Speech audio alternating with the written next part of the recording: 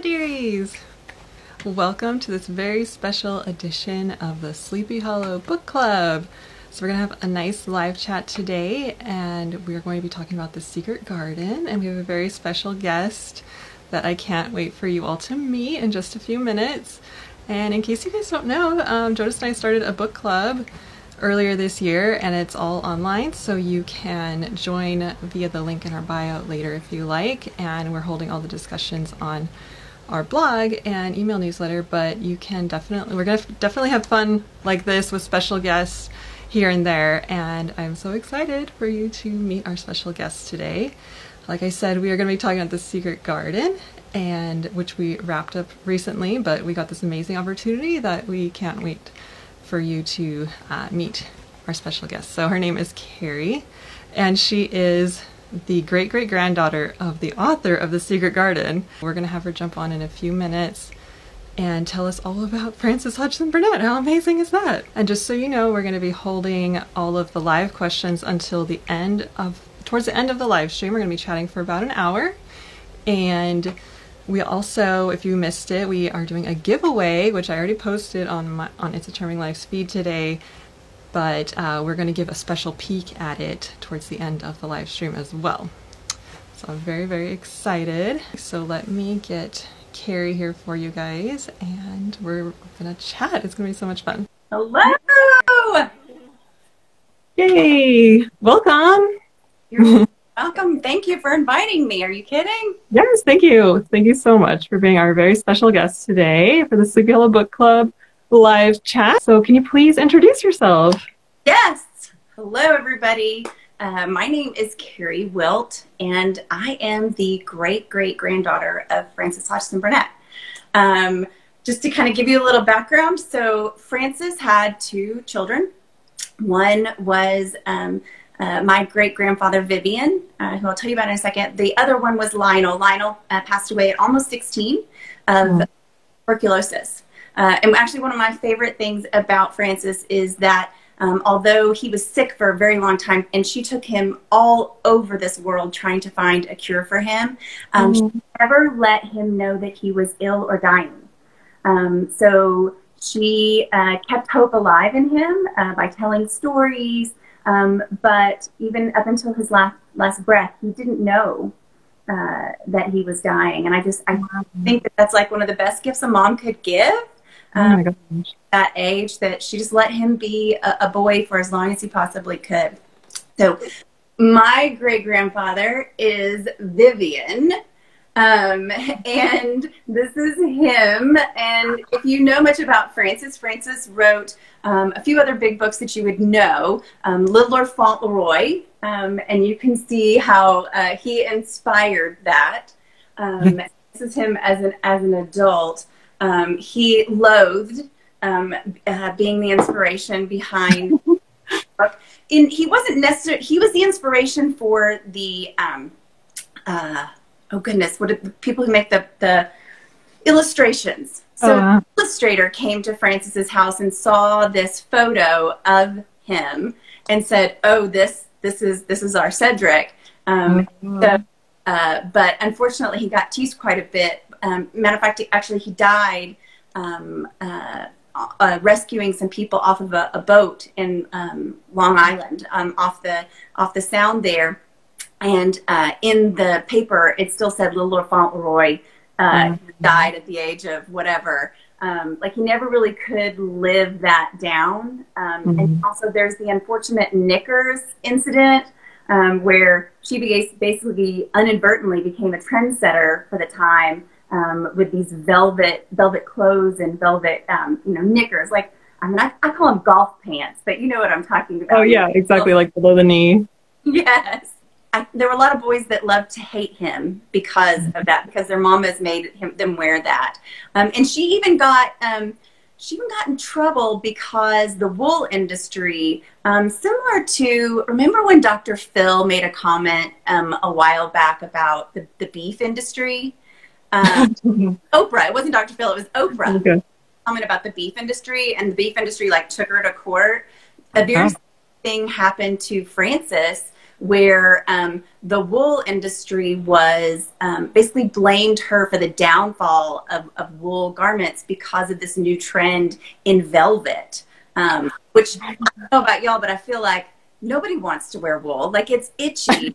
It's Yeah. Yeah. Gonna like choose to well wear something. I think that velvet is probably way better. exactly. Um, but she got blamed for that. So anyway, so um, that's my great grandfather. My great great my great grandfather had two daughters, um, uh, Dorinda, who had no children, and then um, Verity, which was my grandmother. Okay. And then my grandmother had three children. Uh, one son had no children. Well, actually, he did have a child. We didn't find out about her until later, which is a whole nother amazing Oh story. wow. Okay. That here.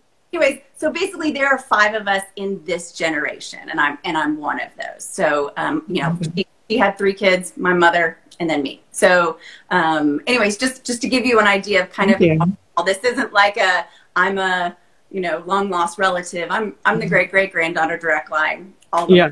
That's amazing. yeah yeah i lucked into this gig like you know you just give your- and yes, um, but I'm having more fun um, doing my best and my part to carry on her legacy, That's um, what I love so much. Yeah. all the well-tended life, which is basically all about the life lessons that are tucked inside the pages of the Secret Garden. Yeah. That is is very much inspired um, by all the themes that y'all just read about. So I'm excited to tell you all the stories. I feel like I've already like diverged and That's great. We are here for all of the stories. I could talk all day long. So Oh, I love it. But um, so you're also a speaker, writer. I just want people to know a little bit more about what you do um, and your new podcast. just just launched a podcast last week um, because guess what i'm a speaker and guess who doesn't get to go speak in um, in the crazy covid time that we're in this time the season of my adventure i like to call it um, and uh, yeah so it was like okay how can i still do this um, but do it in a different way and uh, so yeah new, new podcast and uh, yours will be on the podcast next week so Thank you. yeah. Excited for everybody to hear that later. So Yeah. yeah, thank you so much for having me on your podcast. It's such an honor. oh. Um, I, I love the the blossoms and blooms that you share through everything that you do. Thank you. Thank you. Frances was very, I, Frances was very much a kindred spirit in in that um, for sure. Uh, she was always trying to. Uh, I believe you you you found the quote that she's always trying to write a little bit of happiness into this world, and uh, that's de- very definitely what she thought her mission was. And I'm so surprised I had never heard that quote before. You know, I was just blown away when I was doing my research about her before I even knew you and for the book club. And I was just like, this is such an amazing quote. And why aren't people sharing this all the time? I think a lot of times the, the quotes that get pulled are the secret garden, right? And so the other ones are you, you can find them, but they're typically found in um, uh, in her biographies. So unless you've read some of those, you probably you probably wouldn't see them out there on an everyday basis. Yeah, that's so crazy. I've rounded up live questions or questions already from the book club for you to answer now. And then in case anyone's just jumping on, we're going to have some time at the, towards the end of this live chat where you can send in your questions live for Keri in case we didn't touch anything um, that you wanted to hear about. So yeah, um, let's jump in, shall we? Do it, dig in, Yeah. dig in. First question would be, can you tell us more about Frances's early life and how she started writing and perhaps how her family inspired her writing, which you kind of already touched on? Absolutely. Um, Frances was born in Manchester, England, um, and she was born a storyteller. Uh, I think most people who, if you if ever been a mama, you know some that your your babies come out how they come out, and I think she came, she came out like telling stories from the get go. Um, uh, her very first book was given to her by her grandmother um, at, at the age of three, and it was one of those you know hardback books uh, for young kids um, that was uh, called the Little Flower Book, and it was like. A, you know, A is for apple blossom, C is for carnation. Um, already see that there's the seed to the secret garden she would lay, you know, write later on in her life. Um, For sure, she started reading um, by kindergarten. Um, there were always books in her home, um, and she told recess uh, stories at recess. So if you were a friend of Frances's, um, you would find her at recess and you would hear a story. But if you wanted to hear the next chapter, you had to find her back on the playground again, um, oh. get the next the next one. So, um, and um, but as far as how her family inspired her writing, um, several things um, definitely were big inspirations. Um, one, uh, the tragedy of the death of her father at three. Mm. So uh, this ends up bleeding into her writing in the fact that um, in almost all of her books, um, the main char- character typically does not have a complete set of parents which mm. I think is also a, a, kind of a Disney thing as well. I was just thinking that. Yeah. yeah. yeah. You know, I mean, you write about what you know. Um, and that mm-hmm. was a, a, part of things. And then she was raised by a single mom. Mm. You know, she was one of five kids. And wow. this mom took on her, uh, her husband's business, um, which was like, um, home goods manufacturing. Um, and it was right in the middle of the Civil War. And uh, all her clients were in the US and um, they weren't buying uh, beautiful chandeliers and things like that. So mm-hmm. she was you know, watching her mom try to save their business and then finally ultimately moving her family to the US, um, to Nashville, mm-hmm. outside of Nashville, um, mm-hmm. right when she was about 16. Um, and they came at the promise of jobs for um, for the boys, and uh, barely survived. And um, you know, a lot of those hardships are are, are kind of through throughout our writing. Um, some other inspirations, though, too. Um, I think she was a born storyteller, which means that she told stories all the time, like mm-hmm. never stopped, ever, ever, ever. And her brothers they were not such supporters or fans of it. I mean, imagine, you know, you're annoying constantly yeah telling stories running around the house. And, um, but uh, her sisters were big supporters and big advocates, um, and they were actually the ones who um, basically um, uh, conspired together with Frances to teach those boys a lesson. Uh, Frances uh, decided she wanted to get published, and she um, a story, and she and her sisters went out into fields and picked wild grapes. They because they were poor as dirt, like poor, poor, poor, poor to, pay, to put the, the story down on paper um, mm. to be able to send off. So first they had that money, so they picked wild grapes and they um, sold them in the farmers market in Knoxville, wow. Tennessee. And then they bought the postage and everything they needed. She wrote the story, sent it in, and um, the first letter that came back, um, they basically said that they didn't believe that she wrote it. Um, that how could an English um, girl write this story?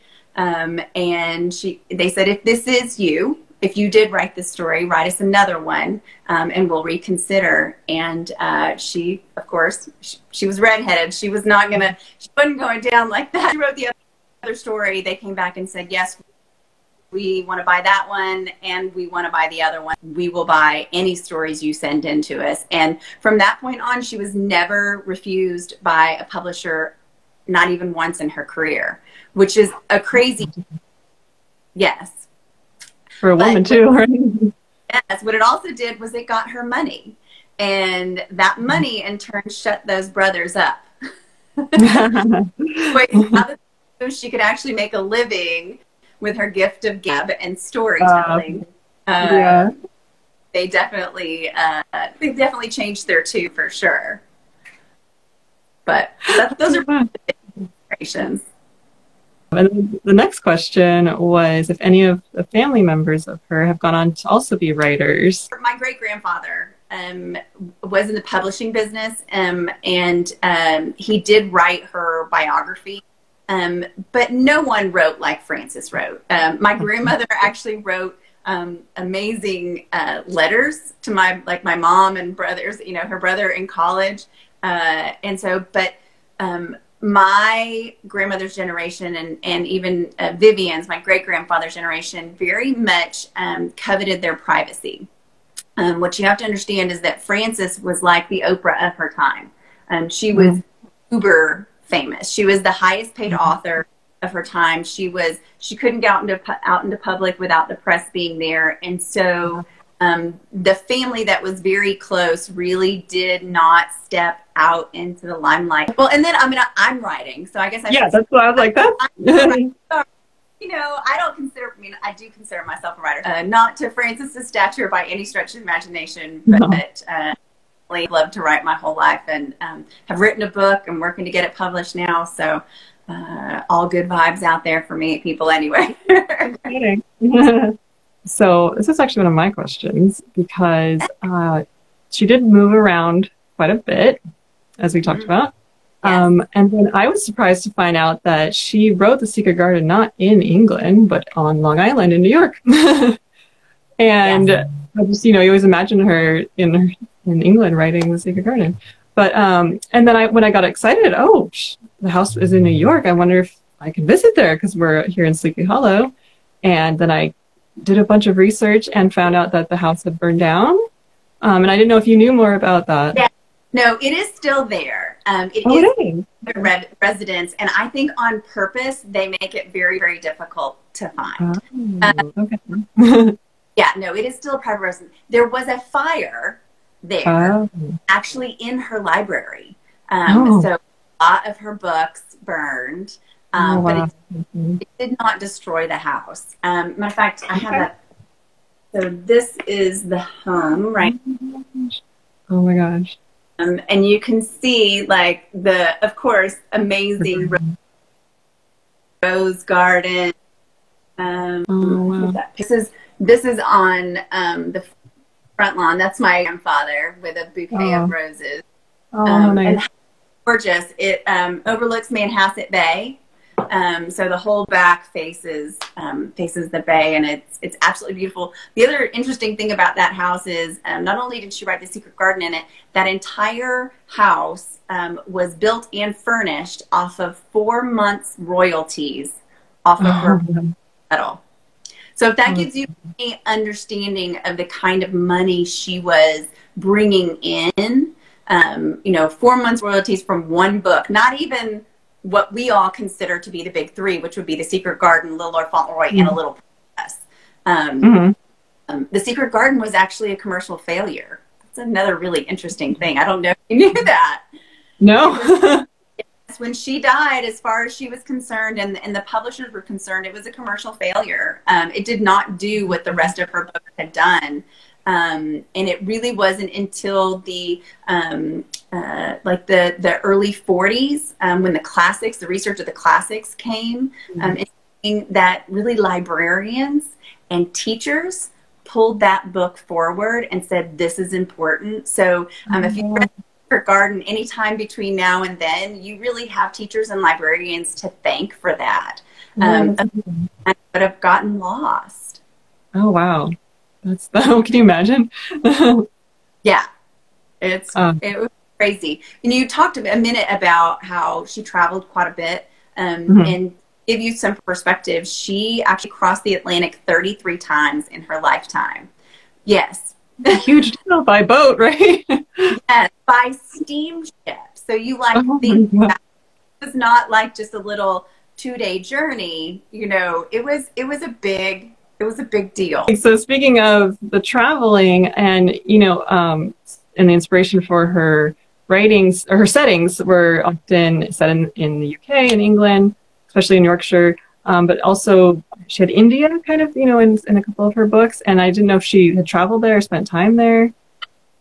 So I don't have comp. It's interesting. You're actually the second person to ask me this in, in the course of two weeks. Uh, I was oh. on a call. There's a, um, a, a, couple ladies that are doing this amazing um, kind of like one act show about Frances right now.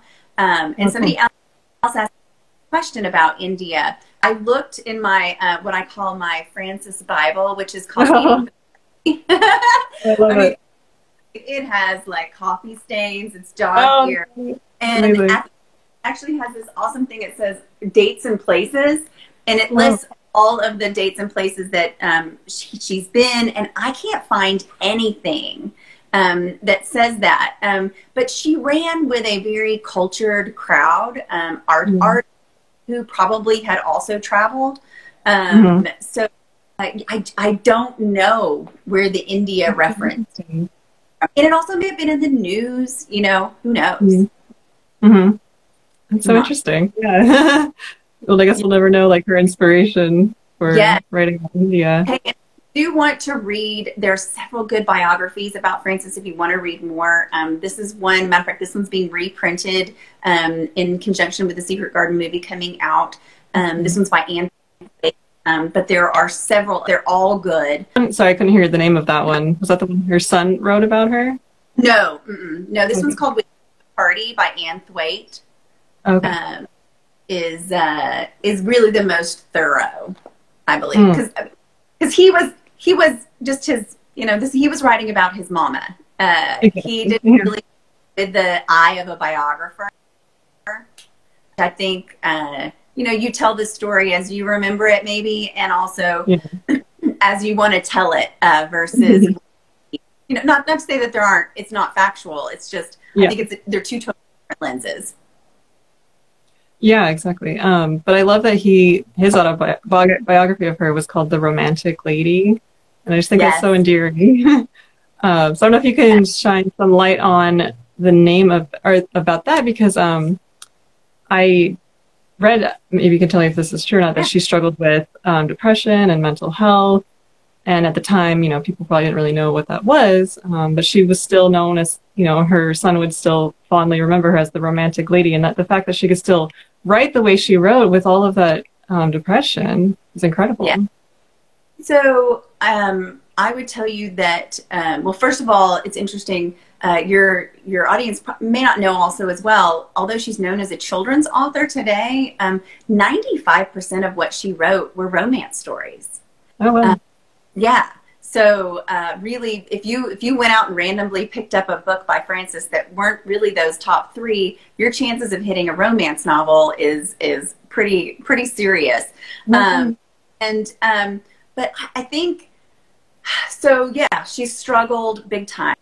Part of that was um, because she was an, uh, a pen driven machine. She workaholic um, mm. big time. And um, you asked in, in, one of the questions, you know, was there a certain time or a season that she writes? Yeah. And no, when it came, she mm. had to get it out in a mm. frantic way that um, left her um, completely spent, um, mm. exhausted, um, and then her nature was to be a, a workaholic as well. And so um, she would literally finish a book and then almost immediately check herself into a sanitarium to rest. Yes. Wow. And she didn't allow um, herself the rest when she was in the middle of writing a book. And so she would just, so she would often have these breakdowns and uh, she had health issues. She had uh, some heart issues. Um, mm-hmm. But she felt like these stories needed to be told, and so she mm-hmm. just, you know, just frantically wrote them all down. Wow, that's incredible. Yeah, but I also think too that he refers to her as the romantic lady because I don't know. There's something about the word romantic. I think it's more. It's like a notion. The mm. notion being romantic um, and believing in better things. Um, yeah course, happy endings. And so I mm-hmm. think, you know, I think she kind of wrote a lot of times the stories that she wished she could have, um, mm-hmm. but too busy being a workaholic. Um, you know what? I think there's a lot of us. I mean, I know this girl right here has always struggled with that, right? Mm-hmm. Um, too busy to really um, uh, have maybe that that full life and i think we're all learning mm-hmm. a lot of that right now uh, with with the quarantines and things so well, that's what I love. That's very similar about the well-tended life and it's a charming life. Is about you know, um, you know, finding the growth in your own life. And I love how you say, you know, to tend your own garden. And yeah. also, I love how you call yourself the not so secret gardener. By the way, yeah. that's my favorite. Mm. I have weeds in my garden. I have a broken. it is, yeah. I don't. I don't need. I don't need that kind of comparison. my garden is perfect, and neither is my life. Um, just you know, why we're all on this journey, right? To figure it out and to grow while we're here. Did you start gardening yourself because of your inspiration from Frances or? No, actually not at all. Um, I started going uh, gardening um, because I got chickens, and chickens are the gateway drug to gardening. Oh, okay. Sitting eating like an egg and you think, God, fresh tomato sure would be good with this. And then Mhm. it's like one thing leads to another. And then you think, well, I, of course, I if, if I have chickens, I must I must be a gardener. A question Right. you know, everybody wants to know Okay. is did Frances have her own secret garden? So Frances always her whole life Uh-huh. she was inspired by, by them, but she didn't actually, and she surrounded herself with gardens everywhere she went. Um, but Oh. she didn't actually become a gardener until she was almost 50. She didn't actually Oh. work in the garden her own spade into the ground until that, which is crazy. But if you also heard what I just said, she was locked in a room. Um, and so uh, she surrounded herself with roses specifically almost Mhm. everywhere.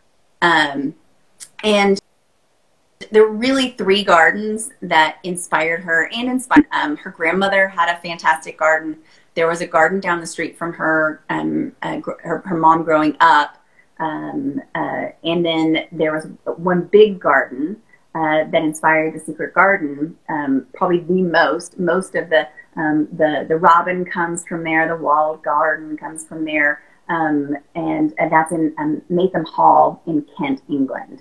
Um, Oh, in England. actually- Oh, wow. yeah, I have a picture of that. Actually, well, here's a picture of her, Frances. Actually, um, she. This is her looking up over the uh, ivy-covered wall, Oh. and she's actually she's actually pointing to the robin, um, which was an actual friend of hers. She said it was the best Oh. friend walking in the garden. She said it's the best friend she ever had. Um, Oh, that's so sweet. Oh my gosh. you're always so happy. Um, but I wanted to show you. So this, um, so this was the house that she rented for nine seasons. Um, this is actually it did burn. This is what it looks like today. Um, but um, and it was crazy. It actually had. Um, let me read. It says, so this is she's describing it to her son in a letter, and she says it's a, a charming place with nicely timbered park, a beautiful old walled kitchen garden. The house is excellent with paneled square hall, a library, a billiard room, a morning room, a smoking room, a drawing room, a dining room, 17 or 18 bedrooms. It has two stables, uh, two lodges with a porch, and a square tower from which you can see the English Channel. Oh, Crazy. That sounds lovely. Yes. Well, and so she spent a whole lot of time in this garden. Um, it was actually Mhm. abandoned when she first rented it. She rented it for nine seasons. So the garden itself was in dis- disrepair, and over the nine seasons, she brought it back to life.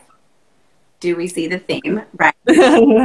There's the one big thing that I love um, that you can just see Frances strolling through and looking at this wall and thinking to themselves, why would someone lock up a garden?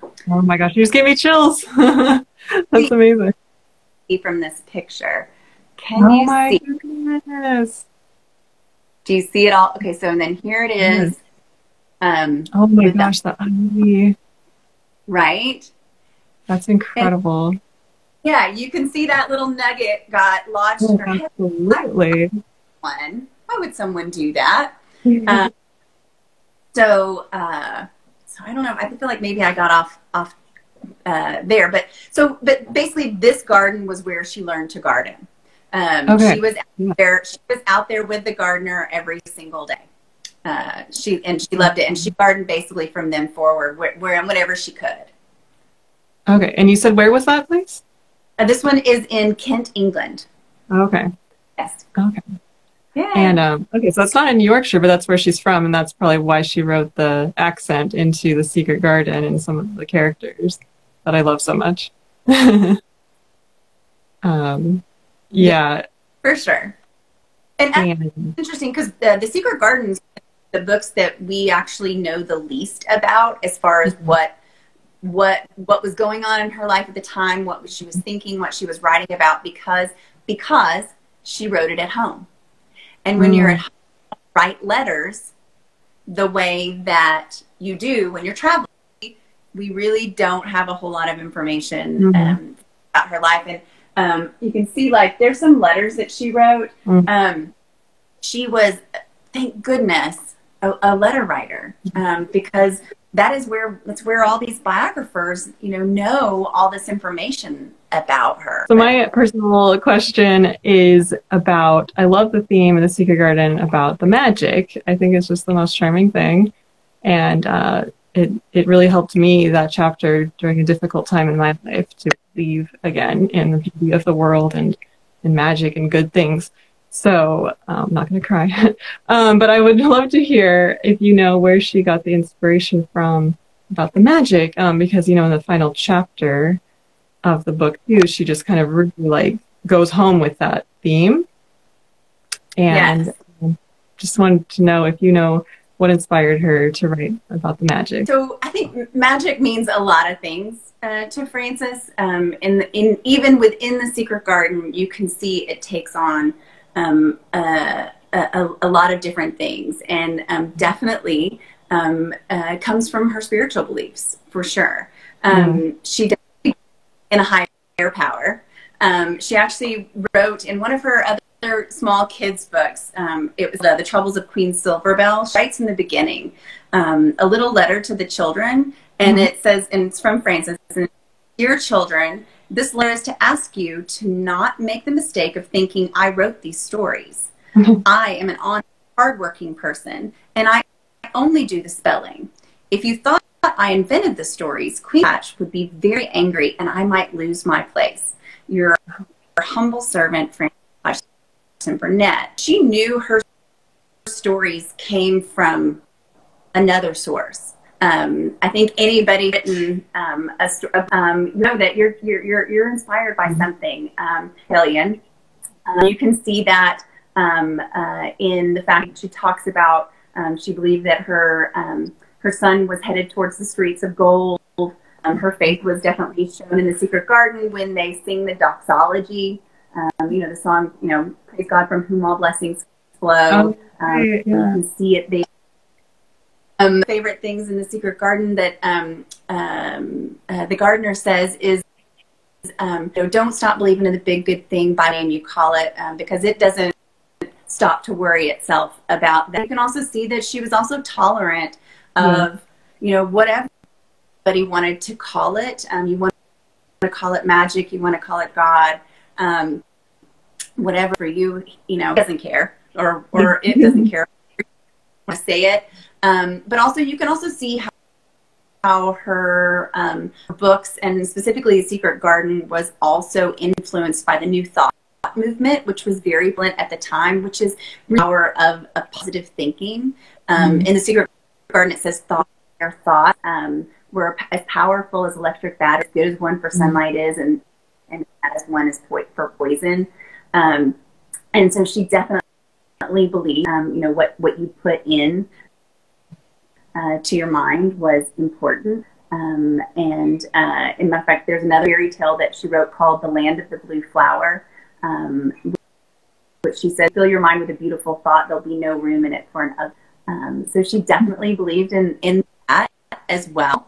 Um, mm. But I think the word magic, her, um, you know, took many forms. It, it, it nature. Um, mm. Believed power of being outside and digging in the dirt and mm. running and playing especially for kids. And you, you have to, too, at that time, you know, kids were meant to see, seen but not heard. Um, you know, you know, or maybe it's also, right? Seen but not heard, right? You weren't, yeah. you were supposed to mess up your dress. You weren't out, and she was a very big proponent for that. Um, you know, uh, Colin says the magic in the garden is made and I know I'm going to live to be a man. Mm-hmm. You know, there's something powerful when you're and you you feel nature around yeah. you, right? Mm-hmm. Um, then there's also, she talks about in the secret garden, it says the magic works best when you self, which mm-hmm. is basically our part of, right? You know, mm-hmm. faith without work, you know, is meaningless. And so, you know, we've got to, we've got to do our part um, to go and do those things that we were, we were made to do and grow. Um, for sure. And then uh, at the end of the day, though, the magic is is in us. Um, and Colin said it mm-hmm. best. I mean, he said the magic is in, and um, you know, we all. Every one of us. Yeah. I, um, to to to do what it Yeah, every single one of us. Yeah, it doesn't matter. So um, I don't know if that. I hope that question. Yes, I love your perspective. Did I miss any? No, that's wonderful. Um, so fun. I just it's my it was my favorite discussion question um, when we were reading it because I think it's just very open to like your personal interpretation and, and connection if you you know with nature and everything. So it's really beautiful, and the way that she wrote it is just yeah my favorite. Thank you so much for hanging in there, even though we've had technical difficulties. Um, so every if and if Keri hasn't answered anything that maybe you wanted to have covered, then please start entering them in right now, and then she can answer them live.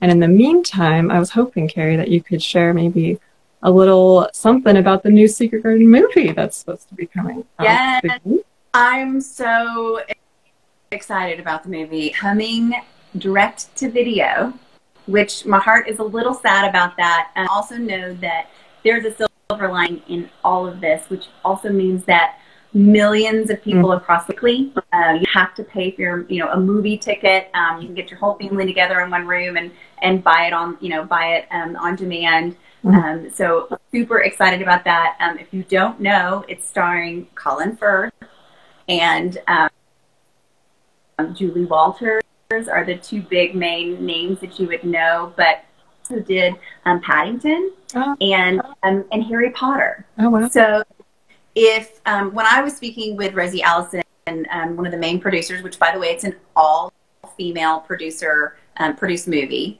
um, which Frances would love that. Oh, okay. and um, but speaking with her, she just felt like she said, "I wouldn't redo this movie because it's so precious." She said, "I don't think that the other versions have captured the magic of the." Um, oh, so, uh, you've seen the previews. You can go to um, all my social media. It's magic with 12 exclamation points. Gives you goosebumps from head to toe. Yeah. Give you some insight. Um, not exactly to the letter of the book. And I know that there are some out there who and hiss and feel like you have to somehow, Frances made it in the beginning, tell you, I need you to let it go. Um, art is meant and it's meant to grow and bloom. Yeah now with all the special effects nowadays can really embrace the magical side of the garden.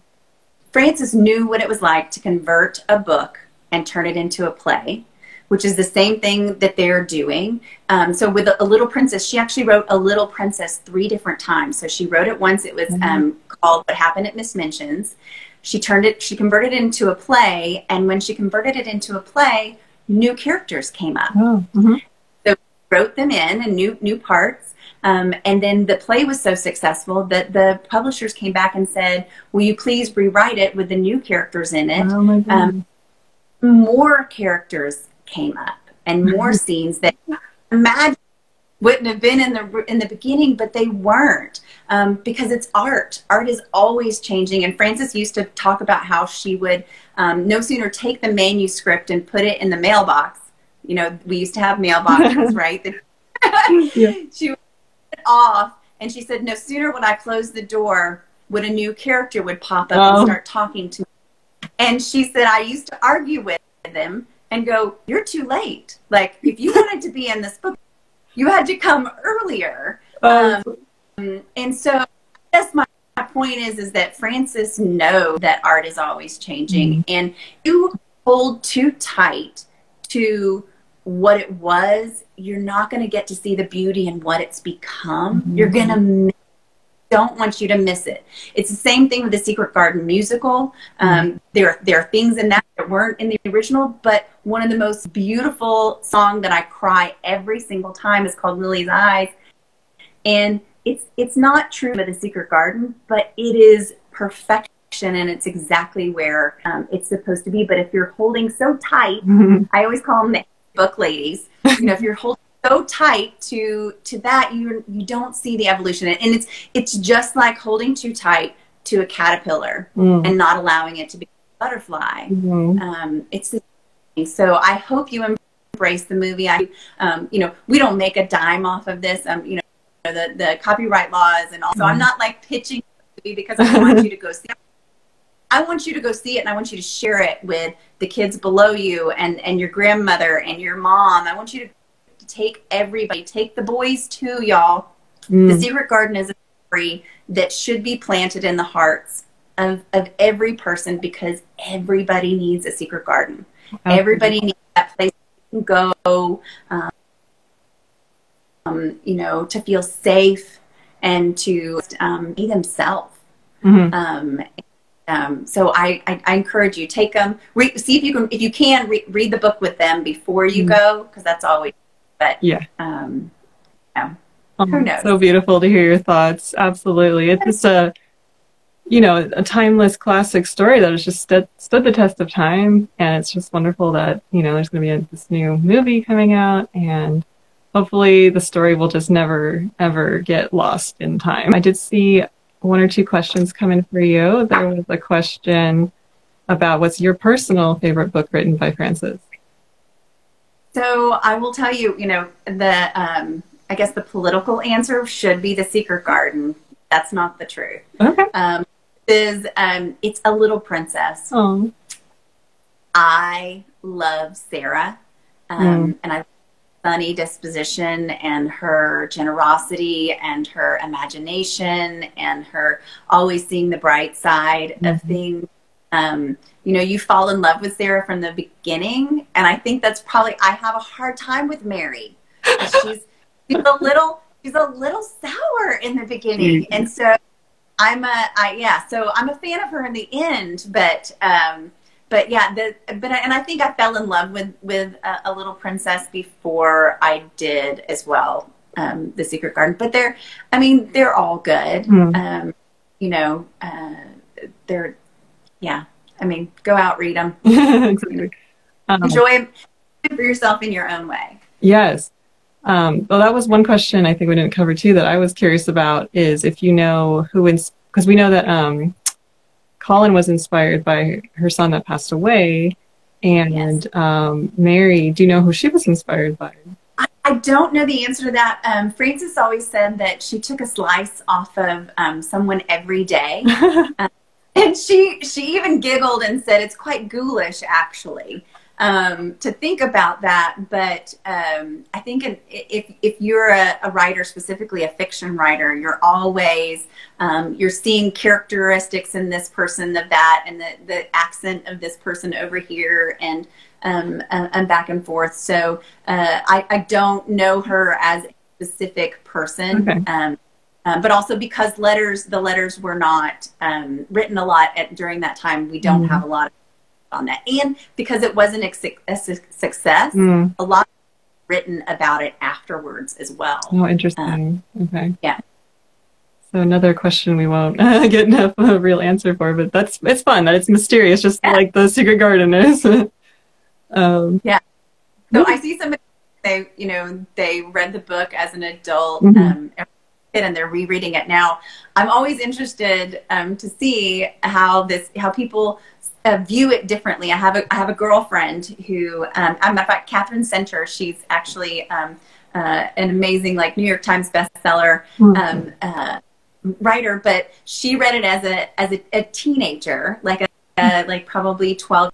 Um, you know, where boy crushes were a big deal at that time, and mm-hmm. so she her garden and was convinced that there was a love story in there, which there's really not at all. No. And she said read it as an adult and she was like, wait, wait a minute, wait, you know, because we all have different lenses. When when we're reading something, we read into it, what which that's the beauty of it, right? Mm-hmm. You you put your own self in there. Your your you develop your characters in your mind, mm-hmm. um, and so I'm always interested to see how people, you know, if they if they find things like that that they didn't yeah. see before, or um, or if it's or if it's their adult lens as it as it was as a kid. Mm. That's yeah, that's that's really that must be fun for you to hear all the stories, everyone's secret garden stories, and I know you have your own too, actually, which I don't know if you shared. Um, uh, I I didn't. So uh, those of you who just read The Secret Garden for the first time and didn't read it as a kid, uh, you're not in um, you're not you're you're in good company. Uh, that uh, I grew up in the TV, you know, the movie generation, right? So we had the movies were already out, mm-hmm. and um, uh, I, I, don't know, you know, I don't, I don't think I ever told anybody I I did, but I certainly never told anybody I did. I hadn't read it, um, and I had seen my mother had given all these speeches about Frances, and so I thought I just thought I already knew the story, and so until I was almost forty, that I finally was like, okay, I got to get this like. I don't know this. It was like a deep, dirty secret. yeah, I got to read this and but i also was i was worried because like you said people do come up to us often and talk about this book, this book. I mean, usually mm-hmm. it is like, let me, I mean, let me tell you about how it changed my life. And I had this fear, like, what if it's not that book for me? Oh, wow. Yeah. I could just totally see why that would be intimidating. So, you know, so I like, I think I just put it off as long as um, I could. Mm-hmm. And, um, I, you know, I believe in perfect timing, and it was it was actually it was total perfect timing for me because um, I read the book when I was um, buried in the weeds of my own busyness. Mm-hmm. Um, I had locked away dreams of being a writer. Um, I, I had, um, I, I, I, was basically the secret garden um, who had, um, you know, stopped watering. I quit watering myself. I had quit watering my dreams. Mm-hmm. and uh, I had shoved probably too many plants in my garden mm-hmm. where they were each other out. Yeah. and I, I just I saw myself reflected in that garden, and at at night I was reading The Secret Garden, and in the morning um, I do a daily journal practice. Oh. And I sit and I do devotionals. And um, uh, at night, I would read The Secret Garden. In the morning, it would be almost the exact same theme. Um, sometimes very similar words. And um, I just kept getting drawn back together with her in this way um, that I could explain finally went, okay, I think I'm supposed to do something with this. And mm-hmm. um, it was realized that the secret garden, um, you know, could teach us all a lot about life. Um, and mm-hmm. uh, which is really well tended life came from. It was, you know, you know it all do exactly what Mary did, you know, gathered her friends, you know, opened the door, pulled all the weeds, dug mm-hmm. deeper, oh. you know, let the sun shine face, you know, and um, you know, and went to work every day, rain or shine, mm-hmm. on this he wanted to grow. Mm-hmm. Um, you know, it, you even it doesn't matter what your your life garden looks right now. Like that's the power and the hope that's in the secret garden mm-hmm. is that you know anybody can can can can grow and bloom again with with help of just a little magic. And that magic is exactly that. That's the work. It's the mm. it's the work that you have to do on yourself and and on the things that you want to grow. So.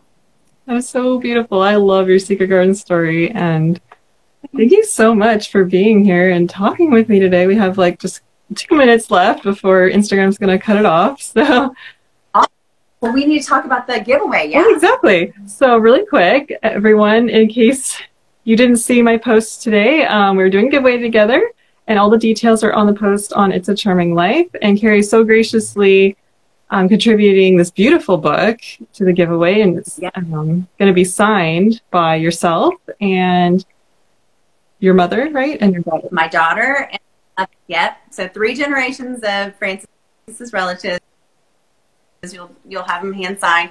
If you don't mm-hmm. know about this version. It's called, um, I always say it wrong, so I'm to MinaLima, M-I-N-A-L-I-M-A, and it elements in it. Mm, so, so cool. it has a whole diagram of uh, of of the the house. That's so cool. The property. I'm afraid that Instagram's going to cut us off any second, but I really love it. it just doesn't give much warning. But thank you so much for contributing that book to the giveaway and for being here. And also, yeah, there's going to be a bookmark um, that Jonas painted. So there's our contribution. And so thank you so, so much, Keri. And I'm going to, you know, put all the links for where everyone can find you. And thanks again for being a part of the Sleepy Hollow Book Club. no problem. Okay, thank you. Bye for now. Bye.